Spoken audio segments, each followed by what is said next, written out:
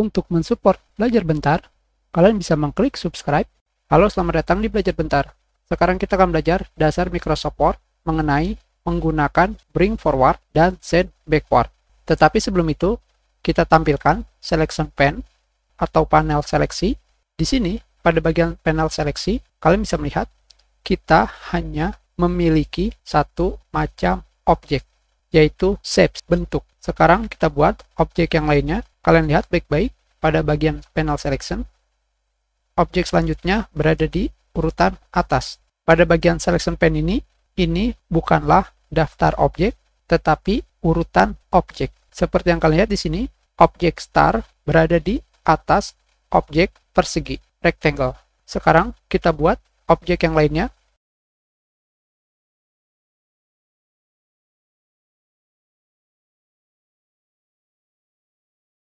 Sekarang di sini kita sudah memiliki 6 macam objek.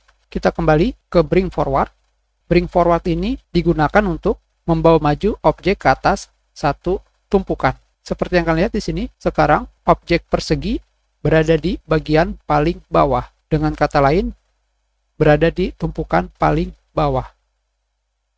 Dan yang paling atas adalah objek yang baru saja kita masukkan. Kalian bisa membawa objek pada urutan terbelakang ini. Kalian bisa menggunakan bring forward untuk membawa maju objek ke atas sebanyak satu tumpukan seperti ini. Sedangkan jika kalian mengklik tulisan bring forward di bawahnya, di sini terdapat tulisan membawa objek yang dipilih ke depan atau ke atas sebanyak satu tingkat atau membawa langsung objek ke tumpukan teratas. Ketika kalian mengkliknya, kalian akan menemukan bring forward dan bring to front yang digunakan untuk membawa langsung objek ke tumpukan teratas. Sekarang kita pilih objek star dan kita gunakan bring to front. Seperti yang kalian lihat, secara langsung objek akan berada di tumpukan teratas. Yang berikutnya adalah send backward yang digunakan untuk mengirim objek mundur sebanyak satu tingkat. Sekarang kita klik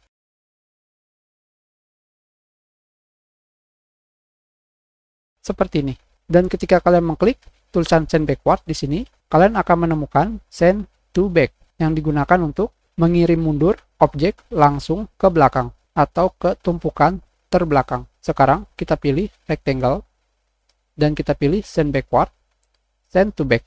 Maka objek kalian akan langsung dikirim ke belakang. Sekarang pada bagian bring forward terdapat yang namanya bring in front of text yang digunakan untuk membawa maju objek ke depan teks. Kalian klik.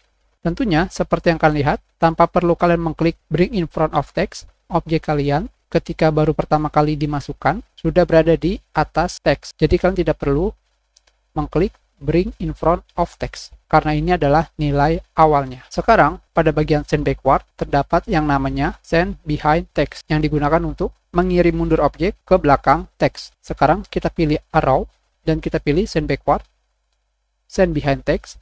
Secara otomatis objek kalian akan langsung berada di urutan terbawah. Kita lihat kembali urutan teratas.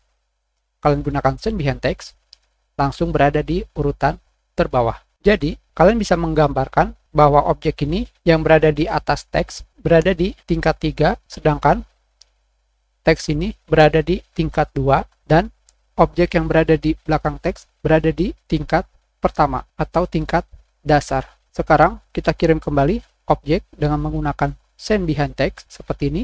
Seperti yang kalian lihat, objek yang baru saja kita pilih langsung berada di urutan terbawah. Tetapi sekarang ketika kalian ingin membawa maju objek ke atas satu tingkatan, kita klik bring forward. Objek kalian hanya berada di level tingkatan kelima, sama sekali tidak bisa berada di tingkatan atasnya. Sekarang kita pilih objek di bawahnya. Kita tidak perlu menggunakan bring forward di sini. Kalian juga bisa menggunakan bring forward di sebelah kanan selection. Seperti ini. Seperti yang kalian lihat, objek tersebut sama sekali tidak bisa naik ke tingkat selanjutnya. Itu dikarenakan jika kalian menggunakan send behind text, objek kalian sudah berada di tingkat pertama atau tingkat dasar. Jadi, sekarang di sini sudah memiliki dua batas. Tentunya, jika kalian ingin mengembalikan objek kalian seperti sebelumnya, kalian tinggal memilih bring forward bring in front of text seperti ini. Dan kalian bisa kembali menggunakan send backward seperti ini. Tetapi objek kalian tidak bisa kalian tumpukan ke objek yang berada di bawah teks. Hanya seperti ini saja. Kita pilih kembali beberapa objek, kita kirim ke belakang teks seperti ini. Sekarang kita gunakan bring forward, send backward. Kita pilih objek panah, kita pilih send backward seperti ini.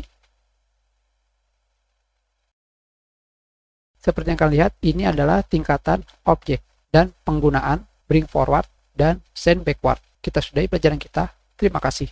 Kalian bisa memberikan komentar jika ada kesalahan atau ada yang ingin ditanyakan. Silakan dibagikan jika bermanfaat untuk orang lain Berikan like jika kalian menyukai video ini dan klik subscribe untuk berlangganan di Belajar Bentar.